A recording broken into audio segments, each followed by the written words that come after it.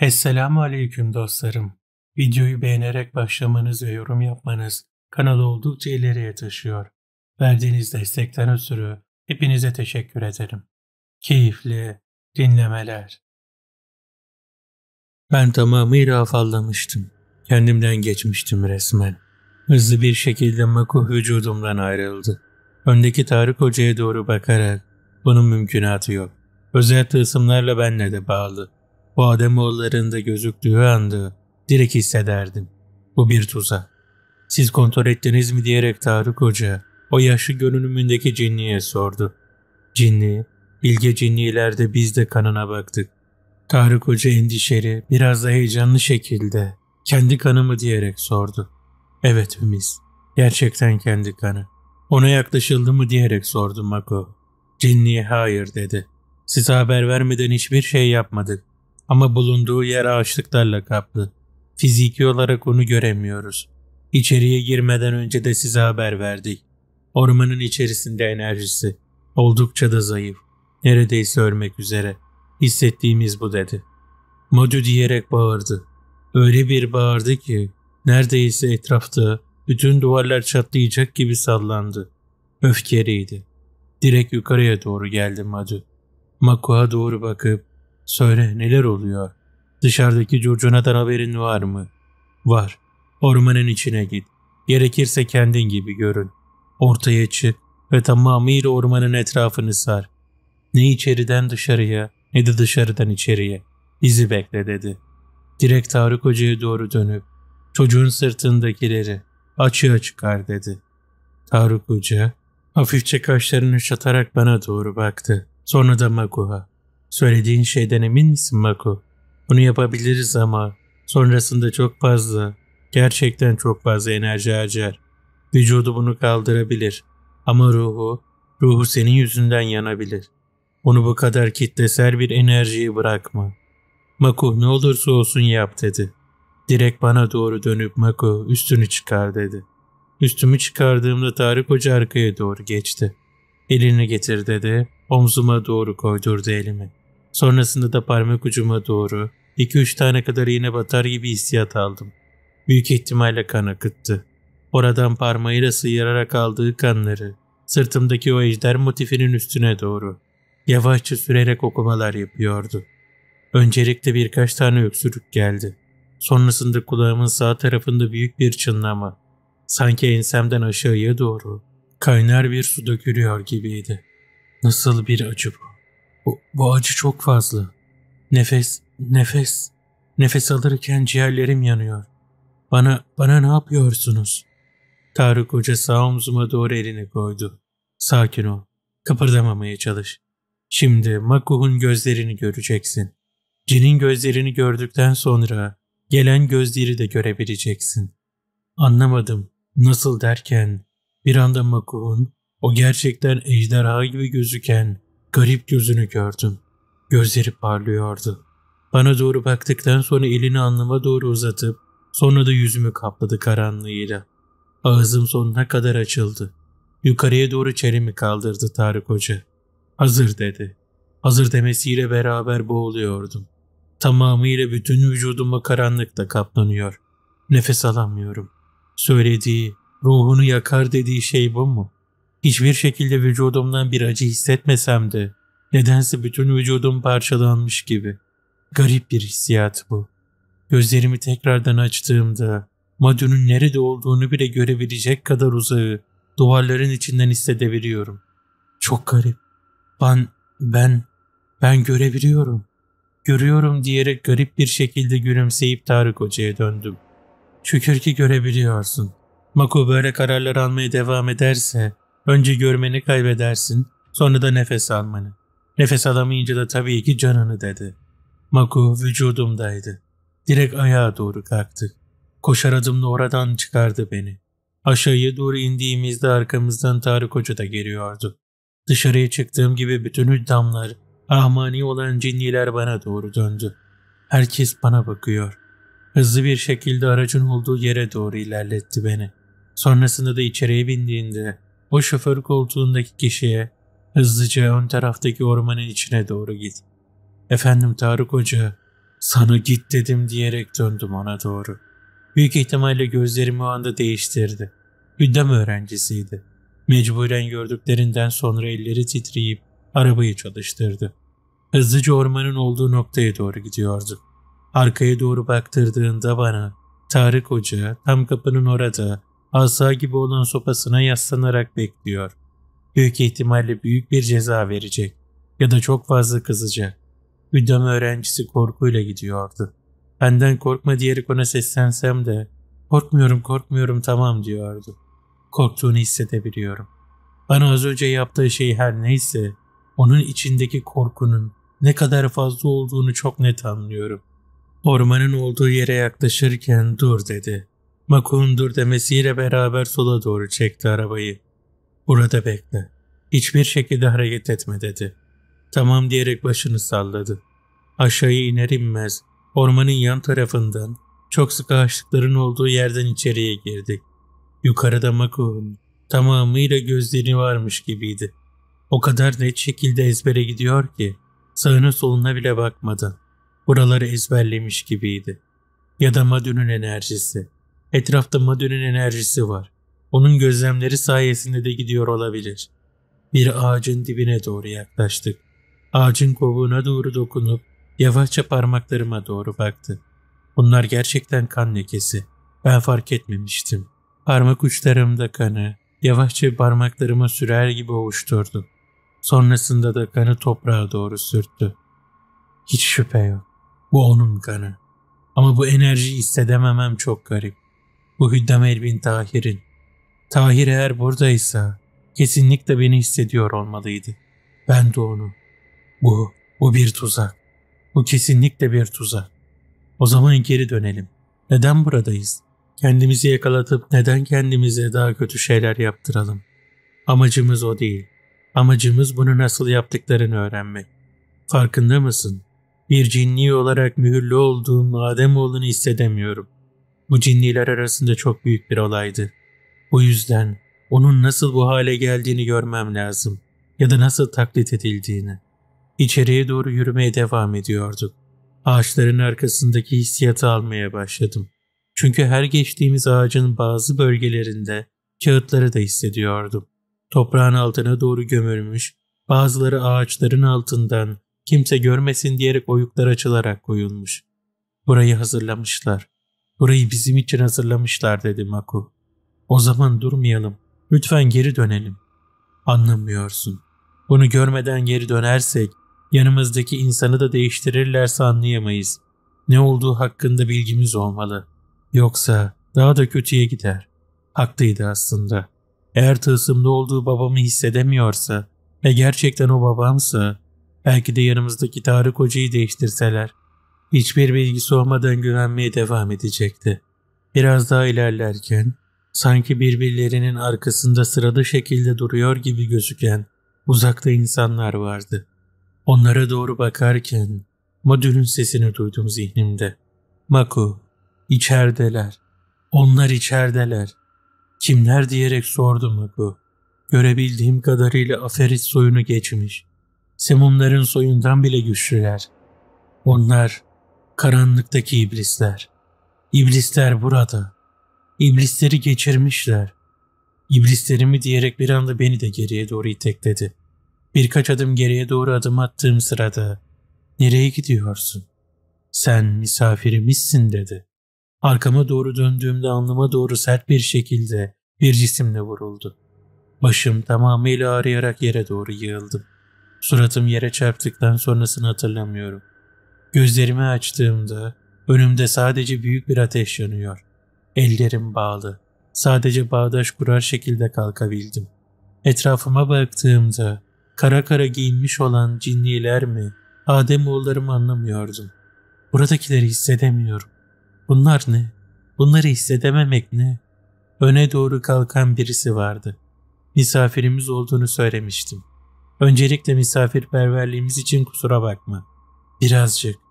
Ne denir Ademoğlu diliyle? Yabaniyiz. Bir insanın fiziki görünümünün aynısı. Eğer bu bir cinni ise bizim el kol hareketlerimizi bile taklit ederek rahatça kullanıyor. Konuşurken elleriyle hareketler yapıyor. Önümde ateşin dibinde durdu. Bana doğru aşağıya baktı. Gözlerini o an gördüm. Gözü tamamen kıpkırmızıydı. Sanki ateş sarımsısı vardı içinde. Elini yavaşça ateşin içine doğru soktu. Bütün vücudu alevle sarıldı. İçindeki şeyi görebiliyorum Ademoğlu. Benimle konuşmak istemiyor mu? Neden konuşmak istemiyor? Halbuki ben onu çok iyi tanırım. O da beni tanır. Bizim taifimizi Ademoğullarının alemine geçirecek kadar beni öfkelendirdi. Konuş, ortaya çık. Kendini göster yoksa bu çamurun alevlerin içindeki yanışını sana her saniye izletirim. Konuş, çık ortaya. Maku hiçbir şekilde ses vermiyordu. Ne bedenimden ne de zihnimden. Hiçbir hareketliliğim yoktu. Sadece ellerim arkaya doğru bağlı şekilde acı çekiyordum. Bileklerimi oldukça sıkı bağladıkları için canım acıyor. Önüme doğru başımı kaldırıp Maku'la konuşmayı bırak. Benimle konuş. Haydi söyle. Kanının kokusunu ilk aldığımda anlamıştım. Aynı o ihtiyar gibisin. Sen de onun gibi sinirlisin. Zaten aynı kanı taşıyordunuz. Ta ki biz onu, ruhunu tamamıyla yiyene kadar. Sıra galiba oğlunda. Ne diyorsunuz Tayyip'em? Ne diyorsunuz? Bir anda hepsi ayağa doğru kalktı. Fısıltılar öyle bir yükseldi ki elini ateşe doğru soktuğu yerde o ateş sanki kökünden daha fazla şekilde harlanır gibi yükseldi. Ormanın neredeyse görünen her tarafını, ateşe bakan her tarafını aydınlattı. Hiçbir tepki gelmiyordu Makuh'tan. Ateşlerle beraber öne doğru adım atmaya başladı. Yüzüme doğru eğildiğinde Makuh lisanımı kullanıyordu. O pis nefesini üzerimden çek. İblis soyundan gelen nefesini kendine sakla. Yüzünde bir gülümseme oluştu. Sonunda ortaya çıkmaya karar verdin demek. Bu kadar saklanmanın nedeni neydi? Yukarıdan aşağıya doğru alevlerle sarılı bir şey indi. Ne indiğini göremedim bile. Her taraf o kadar hızlı alevlerle sarıldı ki sanki tamamıyla alev onun için hareket ediyordu. Sonrasında da beni ayağa doğru kaldırdı Mako. Nerede kaldın Madu? Yukarıda göklerde kanat çırpmayı mı özledin? Birazcık daha izlemek istedim. Sonuçta bana ihtiyacın olacağın zamanlar çok fazla olmuyor. Hala yoktu ki diyerek gülümseyip arka tarafa doğru koşturmaya başladı beni. Karanlığa doğru giriyoruz ama benim gözlerim görmüyor. Onun gözleri ya da benim gözlerimden görebiliyor. Karanlıkta çok hızlı şekilde kusursuz hareket ediyorum. Bastığım yerler tamamıyla güvenli. Ama nedense zihnim bunu reddediyor gibi. Çünkü göremediğim yere bu kadar hızlı hareket etmek, nedense vücudum kitlenir gibi kendini geriye doğru çekmek istiyor. Sonunda durdu. Durmasıyla beraber Madü kendini gösterecek şekilde yanımızda belirdi. Ormanın her yerindeler. İçeriye girdiğimiz için etrafta da kapatıcılar var. Çıkmanın tek yolu var. İblislerin musallatından çıkmak. Buradaki bütün iblisleri öldürmemiz gerekiyor. Tahir, Tahir nerede? Onu hissedebiliyor musun? Az önce tam olarak göğsüne elimi soktuğum cinliğinin yansımasıydı. Kendisinin yanında ve ormanın her yerinden hissiyatı yayılıyor. Ben neden hissedemiyorum? Sen şu anda onun kokusunu alabiliyor musun? Madu alabiliyorum dedi. Senin hissetmemenin nedeninin ne olduğu içinse hiçbir şey söyleyemem. Sadece şunu söyleyebilirim. Arkana bak. Arka tarafıma doğru döndüğümde ormanın içinde alevler yanıyor. Her tarafta parlayan, garip garip görünüşleri olan cinliler. Bazıları toynaklı, bazılarının dişleri öne doğru çıkıp sivrilmiş. Bazılarının suratının yarısı yok. Zincirlerle kaplı boynuzlar. Bunlar da ne böyle? Seni tanıştırayım dedim Adu. Bunlar karanlık tarafın iblisleridir. Açıkçası ben bile korkuyorum diyerek kendisi hafifçe eğilerek güldü. Bu kadar rahat olmasını anlayamadım ama. Madem bu kadar korkunçlar, kendileri bile çekiniyor. Nasıl bu kadar rahatlar? Maku bunun cevabını veriyordu. Güçlü oldukları kesin. Hatta şu anda bizden belki de daha güçlü görünüyorlar. Ama biz kendimizi göstermiyoruz. Sadece sessiz bir şekilde beklemeyi seçiyoruz. Tüm gücümüzü gösterdiğimizde onlar gibi binlerce cinliyi sadece yakıp yok ederiz. Öne doğru beni çıkartacak şekilde Mako yürütmeye başladı. Madu arkamdan siyah çarşaflı bir şekilde görünüp gelmeye başladı. Oradaki cinnilerin her biri saldırmak için bekliyor gibi. Suratıma doğru baktıklarında hatta daha da kızgınlar. Madu kullanacak mısın diyerek sordu. Sessiz bir şekilde yan tarafa doğru dönüp onun gözlerin içine doğru bakıp Mako başını salladı. O zaman eğlenceyi başlatıyorum dedi. Çarşafı tamamıyla karanlığa doğru bürünerek sonrasında yerin altına doğru girdi. Kaybolup gitti. Nereye gittiğini hiçbir şekilde anlayamadım. Sonrasında etrafta, ağaçların etrafında bir kanat çırpma sesi başladı. Bu kanat çırpma sesi o kadar güçlüydü ki her çırpılma sesi geldiğinde ağaçlar yana doğru neredeyse yamulacaktı. O kadar fazla yüksekti. Ne olduğunu anlamak için sağıma soluma bakıyordum. Bir anda Makuh beni hareket ettirdi. Oradaki cinnilere doğru yaklaşacak şekilde önlerine doğru yürümeye başladım. Yavaşça gözlerimi onlara doğru diktim. İki taraftan da gelen enerjiler oldukça fazlaydı. Ama beni gördüklerinde sanki geriye çekilmeye başlıyorlar. Çünkü vücudumdaki ejder motifi tamamıyla bütün vücudumu sardı. Üzerimi çıkarttıktan sonra derimin her yerinde parlayan garip bir ışık vardı. Vücudumu tamamıyla saran bu deriyi yazılar kaplamaya başladı. Yine her bir pulun üzerinde cin alfabesinden oluşan harfler bulunuyordu. Cinlilere doğru elimi kaldırdı. Maku onlara karşı hafif bir gülümsemeden sonra İblisler, musallatınızı kabul ediyoruz ve sizin binlerce olan sayınıza karşı sadece ejder soyundan gelen iki tane cinni ve bir tane de Adem oğullarından Hüddam. Hazır olun. Mine şâtumel ehmün hacü meqaz mü'ânelellezül. Bunu söylediğinde yukarıdan devasa bir ateş püskürür gibiydi. Tılsımlarla doluydu. Ateş sanki onları bir ablukaya alıyormuş gibi üstlerine doğru sarıldı. Vücutlarının her birinde benim vücudumda bulunan o cin alfabesinden harfler yavaş yavaş yazılmaya başladı. Madü arka taraftan tılsımı okuduğunda Mako ellerimi kaldırarak aynı şekilde okudu. Ateş üstlerini tamamıyla sardı. Paramparça olmaya başladılar. Önümüzdeki o değişik gözüken varlıkların hepsi yok olup gidiyordu. Madün'ün bu kadar güçlü olduğunu tahmin etmemiştim. Okuduğu her tılsımla beraber cinlilerin arasına doğru daha hızlı şekilde ilerliyor. Makuh ve Madü. Kardeşler ama ikisi de korkutucu. Cinniler tamamıyla yok olduğunda Makuh'a bitti mi diyerek sordum. Makuh arkasını döndü. Ağaçların olduğu yerde bir şey var. Yeşil gözleriyle parlıyor. Bu Makuh'la Madü'nün annesi. Oraya doğru bakmakla da yetinmedi. Elimi kaldırdı. Elimi kaldırmasıyla beraber vücudumdaki o cin alfabesinden oluşan harfler yavaşça söndü. Hoş geldin anne. Seninle görüşmek için can atıyordum. Bana bir dost getirmişsin ama hissiyatını almam için bir şeyler yapılmış. Buradaki iblisler oldukça zayıf. Bunların bir yem olduğunu anlamayacak kadar da salak değilim.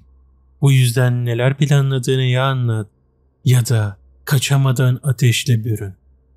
Aradan çıktı. Beyaz giysisiyle beraber güzel bir kadın görünümündeydi. Gözleri yemyeşil şekilde. Bize doğru baktıktan sonra alkışlamaya başladı. Dikkatimi çeken farklı bir konu vardı. Sağ elinde yüzük parmağında olan yüzük. Bu daha önce yoktu. Sanki özel olarak parmağına takmış gibi duruyor. Çünkü hafif bir siyahlık sızıntısı var yüzükten. Yüzüğe doğru sadece ben bakmadım. Madu da yanıma doğru geldiğinde Makuha sağ elindekini gördün mü dedi. Aynı şekilde Makuh da anlamıştı Madu da. Üdem Elvin o nerede? Yerini biliyorsan lütfen söyle anneciğim. Sana zarar vermek istemiyoruz dedi. Tahir. Tahir şu anda sizinle görüşemeyecek kadar yorgun. Hani öldürmüştün? Hani babamı öldürmüştün diyerek öne doğru atıldım. Madü bir anda öne doğru çıktı. Direkt beni engelleyecek şekilde.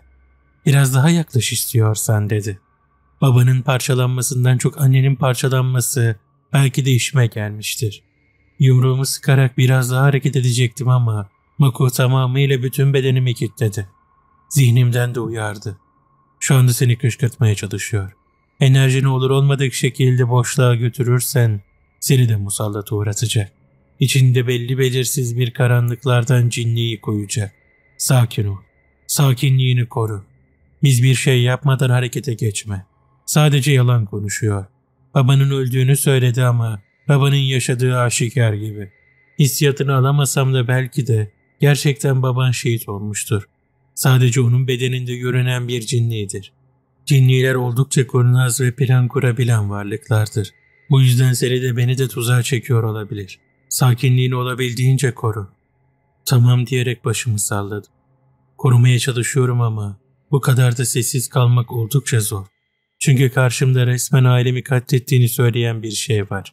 Onu parçalamak istiyorum. Madü yere doğru baktıktan sonra annesine doğru döndü.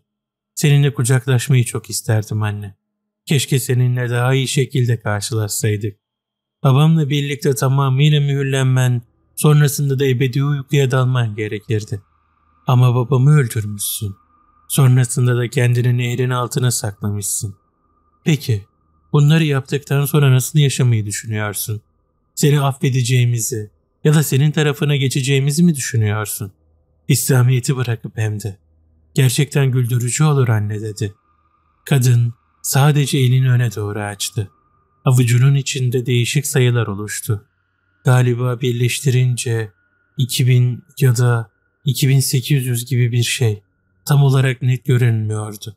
Roman rakamı mıydı onu bile anlayamadım. Başını salladım acı. İyi bir teklif. Açıkçası eskiden olsa direkt kabul ederdik değil mi dedi. Bana doğru bakıyor. Makota başımı sallayarak evet. Şimdi sorumun cevabını alabilir miyim? Teklifini reddediyoruz çünkü. Teklifimi reddediyorsanız artık size çocuklarım olarak bakmamın bir anlamı da yok. Size yapabileceğim en cömert tekliflerden birini yaptım. Bizler Ademoğulları gibi duygusal varlıklar değiliz. Bizler, bizler gerçek değiliz. Ateşleri arkasından çıkmaya başladığında yüzü tamamıyla değişiyordu. Öne doğru çıkıntılı, iğrenç bir diş sistemi var. Galiba ağzında yüze yakın diş var. Sivri şekilde ağzını kocaman açtı. Bağırmasıyla beraber gözündeki yeşillikler tamamıyla sarımsı, alevlerle sarılı olan bir şeye dönüştü. Tam öne doğru yürüyecekti ki Alivaya, Alivaya, Alivaya diyerek bağıran bir ses. Sonrasında da zincirlenmeye başladı. Her tarafından zincirler vurulmaya başlıyordu.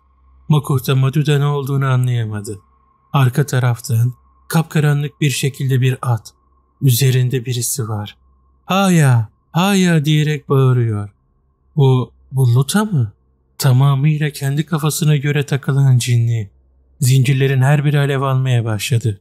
Sonrasında da karanlıkla beraber yana doğru kayarak yere doğru düştü. Bize doğru bakıp zincirleri tutmayı dener misiniz? Az önce bir attan düştüm. Bacağımı kırdım galiba. Ayağını yukarıya doğru kaldırdığında ayağı gerçekten yana doğru yamuktu. Gülmeye başladı Madu. Sonrasında da aynı şekilde Mako vücudumdan ayrılıp o da gülüyordu. Luta'nın elindeki zincirleri aldılar ve alev daha da arttı. Kadın acı çeker gibi bağırıyordu. Ne yaptınız? Bu şeyler de ne diyerek çılgınca bağırıyor. Sonrasında da ayağa doğru kalkıp Luta sekerek öne doğru yürüdü. Görüyor musun? Senin yüzünden ayağımı kırdım. Cin hastanesinde tedavinin ne kadar olduğunun farkında mısın? Bana soğan kabukları ve altın borçlusun. Bir iki tane define yeri söyler misin? Lütfen. Ama lütfen cin musallatlı olmasın. Çünkü cinlerden korkarım. Öne doğru bağırır şekilde çığlık atarcasına kükredi. Kükremesiyle beraber Luta geriye doğru sekip yere doğru düştü. Hayır diyerek bağırıyordu. Diğer ayağı da yamuldu. İki ayağım da kırık şimdi. İki ayağım da kırık görüyor musunuz diyerek bağırıyor. Arkadan yürüyen birisinin sesi geldi. Bu Balija'ydı. Duhar ve Rüvot da burada. Tahir Hoca'nın yerini bulduk. Onu yakalayabiliriz. Derviş Hüddamların mağarasına saklanmış. Derviş Hüddamların mağarası mı? Madü ve Mako direkt güldüler. Neden? Orası neresi diyerek sordum. Orası çok özel soydan gelen hüddamların yani sizlerin yeridir. Oradaki tılsımlar bizim bile ulaşmamıza engeldir. Bu yüzden hissiyatını almıyorduk. Ellerinden kaçmış. Kaçtığı için onu arıyorlardı aslında. O yüzden iblislerin musallatını buraya getirdi. Bizim onu bulamadığımızı anladığında da kendi elindeymiş gibi konuşmaya başladı.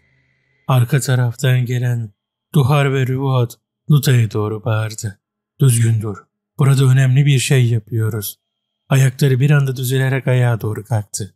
Gerçekten, gerçekten bu cinniler bilgi. Söyledikleri resmen ayaklarımı düzeltti. Yüce bilge cinniler diyerek onların önüne doğru gidip selam veriyordu. Kenara doğru çekildikten sonra o zincirleri ellerine doğru dolamaya başladı Madu Maku. Annelerini tamamıyla yakalamışlardı. Zincirlerin ateşleri ona öyle zarar veriyor ki durmadan acıyla bağırıyordu. Yavaşça yan taraflarına geldiklerinde ise şimdi sana sormam gereken önemli bir şey var. Seni öldürdüğümüzde hiçbir şeyin bitmeyeceğinin farkındayız. Bilge cinni. Onu hiçbir şekilde komutan olarak atamadın değil mi? Onunla birlikteydin. Babamı öldürmenin en büyük nedenlerinden biri de buydu. Onu en büyük kral yapıp yanında eş olmak istemen. Çünkü o cinliği de bütün cinlerin Adem oğullarından daha üstün olduğuna inanıyordu. Doğruyu söyle. Ağlamakta bir ses miydi yoksa son çırpınış mıydı? Sadece sessiz bir şekilde cin diliyle beni öldürün dedi. Ölümü kabul etmişti. Onu yakıp yok etmek için hazırlandılar. Zincirleri yukarıya doğru çektiklerinde arka taraftan bir bağırış geldi. Bu Tahir Hoca'nın bağırışıydı. Arkasında birçok meşale yakan hüddam öğrencisi hüddamlar da vardı. Ellerinde o kerpiçten yapılma küp de var. Hızlı bir şekilde öne doğru getirdiler. Sonrasında da anlamsız şekilde cindeliyle beraber beni çabuk öldürün diye bağırıyordu. Neden bu kadar hızlı ölmek istediğini anlayamadım. Genellikle cinniler ölmemek için ya antlaşma sağlar ya da yalanlar düzerek zaman kazanmaya çalışır. Bu cinniya öldürülmek için yalvarıyor. Öne doğru yürüdükten sonra Tahir Hoca, sizlerin işine karışmak gibi bir niyetim yok. Öldürmenizi enişten kalbi duygularımla istiyorum. Ama bunu yapmamalısınız. Onu mühürlememiz gerekiyor. Niçin mühürleyeceğiz? Bilmediğimiz bazı şeyler var. Tahir'in yerini bulduk. Zincirlerin zaten tılsımlarını da o verdi Luta'ya. Derviş Hüddamların mağarasında mı? Tam olarak orada. Derviş Hüddamlar mağarasında olması bir sorun değil. Sorun şu. Cinliği, nehrin altındakileri uyandırmakta kalmamış. Eski, papürüslerin içinde bulunanlar. Onlar da ona itaat ediyor. Karanlık tarafın sadece lideri değil, kullandığımız özel tılsımların olduğu mühürleri almışlar. Tahir'den mi diyerek aynı anda sordu bütün cinniler hem de. Başını salladı. Duhar, bu söylediğin elhimiz, bu çok tehlikeli bir şey. Eğer Tahir'den bu sırlar alındıysa bize karşı gerçekten çok güçlü olurlar. Bu yüzden onu öldürmemeliyiz. Ne olursa olsun o bizimle kalmalı. Onun üzerindeki tılsımları kullanabiliriz. Sonuç olarak nerede ve neler yaptığını gördü. Bırakın bilge cinniyeler onun gözünü görsün. Neler bildiğini öğrenelim. Bu savaş çığırından çıkıyor. Düşündüğümüz gibi değil. Anneniz sadece bu savaşta küçük bir taş, belki de taş bile değil. Yerdeki bir su damlası. Üstüne basılıp gittiğinde yok olup gidecek. Bu savaş daha farklı. Bu savaşın amacı daha farklı. Tahir ne durumda diyerek sordular. Ben de babam diyerek öne atıldım. Şu anda dinleniyor. Yanında birçok şifacı cinliği ve Ademoğullarından hüddamlarımızın, sağlık çalışanların hepsi yanında. Vücudu çok yıpranmış. Uzun zaman boyunca kefen altında tutulmuş. Vücudunun bazı yerlerinde hagaslar var. Hagas mı? O nedir? Hagas ne demektir? Arka taraftan balija. Hagaslar genellikle Ademoğullarının bedenindeki enerjileri kemirmek için büyük lezzet besleyen cinnilerdir. Eskiden cinnilerin ruhlarını da almak için Aynı şekilde tuzaklar kurulup bedenlerine girerdi. Cinnilerin içine cin mi giriyordu? Böyle de denilebilir. Biraz farklı bir yöntemle. İnsanların anlayabileceği bir mantıkla dile getirmek çok zor bunu. Peki ne yapacağız? Babamı görmek istiyorum hemen dedim. Arka taraftan büyük bir kahkaha geldi. Orman bu kahkahayla yankılandı. Hepimiz olduğumuz yerde bir anda temkinli pozisyona geçtik. Sonrasında upuzun bir şekilde mızrağa benzeyen bir şey Hatta mızrak bile değil bu. Aynı zincir boynuna doğru dolandı. Sonrasında da annelerinin son sözü şu oldu. Onları yenmeniz mümkün değil. Ya itaat edin yaşayın ya da benim gibi aciz kalıp bir anda boynu parçalandı. Parçalanmasıyla beraber zincirler de yere doğru düştü. Bütün her yeri yok olup gitti. Tarık Hoca hemen asasını yere doğru vurdu. Hızlıca ormanı sarın. O gelen şey de neydi? Öğrenin diyerek bağırdı. Cinniler direkt olarak ormanı saracak şekilde uçuşmaya başladı. Bir anda Madü de silindi. Aynı şekilde yanımızdaki bilge cinniler. Yere doğru dizlerimin üstüne düştüm. Başım, başım çok kötüydü. Gözlerimi toparlayamıyordum. Yukarıya doğru gözümü kaldırdığımda seyirir şekilde sol göz kapağım kapanıp açılıyordu. Yanıma doğru geldi. Tutun benden haydi asir dedi. Elimi onun omzuna doğru attıktan sonra beni kaldırdı. Sendeler şekilde onunla beraber yürüyordum. Ne oluyor bana? Bana neler oluyor hocam? Bedenin o saldırıdan dolayı etkilendi. Büyük ihtimalle Makuh'tan dolayı. Makuh'la tam bir birleşim sağladığın için annesinin ölümünü gördüğünde ne hissetti, nasıl bir enerji yaydı bilemiyoruz. Bu yüzden sen de direkt etkilendin. Onlar, onlar nerede? Şimdi onları düşünme. Senin de sağlığın daha kötüye gitmeden buradan uzaklaşalım.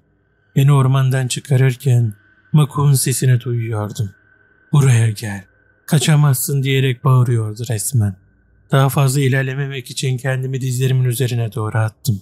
Ellerimi yere koyduğumda oturur şekilde ormana doğru döndüm. Bağdaş kurup ellerimi dizime doğru götürdükten sonra mişrata kemel esüme ehüm hecmiya keme esmühemin izmiya lelleku men teal hecu kallezûrel me'ün Gözlerimi açtığımda görebiliyordum. Ormanın içerisinde onu kovalıyorlar. Ama o kaçan şey istese zaten kaybolup gidebilir. Sadece onunla eğleniyor gibi. Kahkahaların sesi hala kulağımda.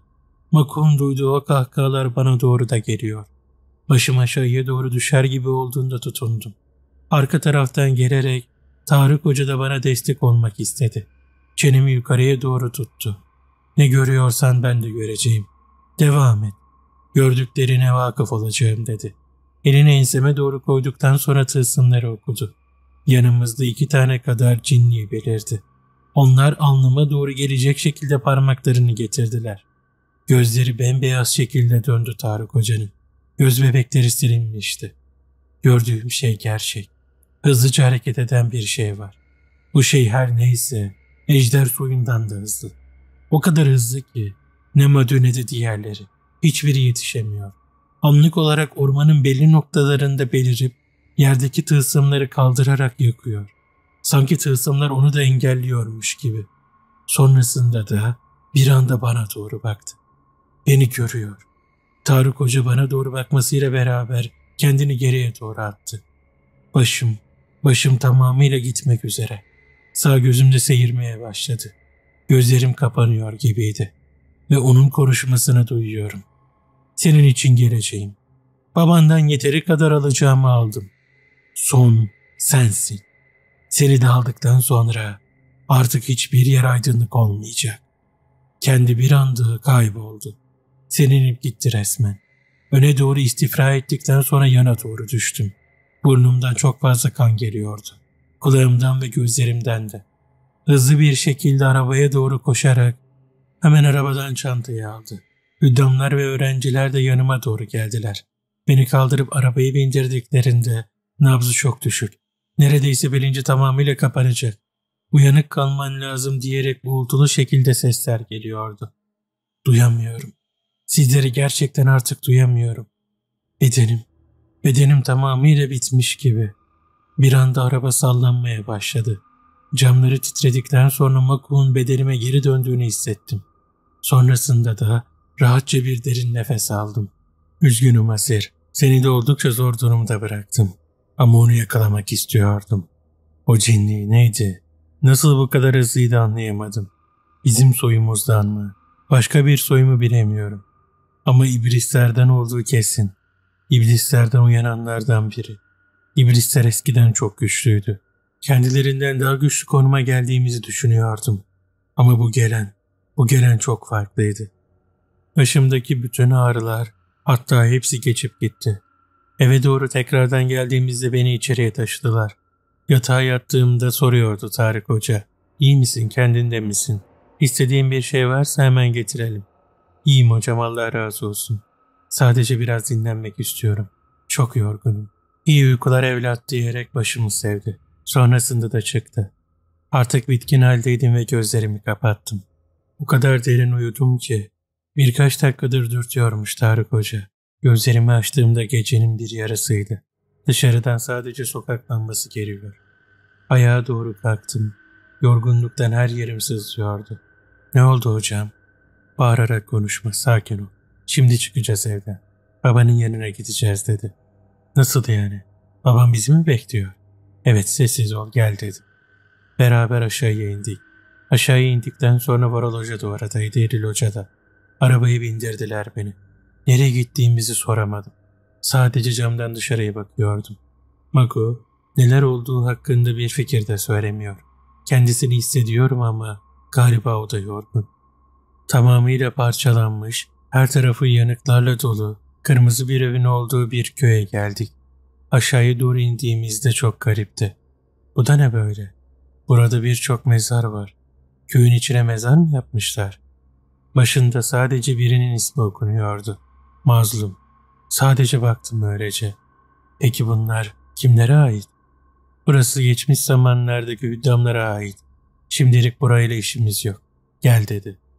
Taşlıkların olduğu bir daha doğru çıkmaya başlıyorduk. Yukarıya doğru çıkarken bu taşlardaki ateşler, bunlar nedir böyle?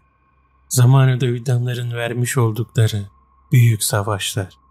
Burası o kadar fazla savaş gördü ki bu mağaranın içerisindekiler bizi onlardan kalma. Derviş soyundan gelen hüddamlar hep bu mağarayı kullandı. Yukarıya doğru çıktığımızda yarık bir şekilde duran bir yer vardı. Buradan içeriye doğru girmeden önce kanını tanıtman gerekir dedi. Söylediği gibi avucumun içine ufak bir dokunuşta kanımı akıttım. Yere doğru damlattıktan sonra içeriye doğru girdim.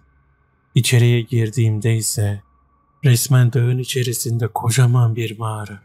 Her yerde Rabbimizin ayetleri yazıyor. Motifler, cins hürriyetlerine benzer çizimler. Duvarlar çok güzeldi.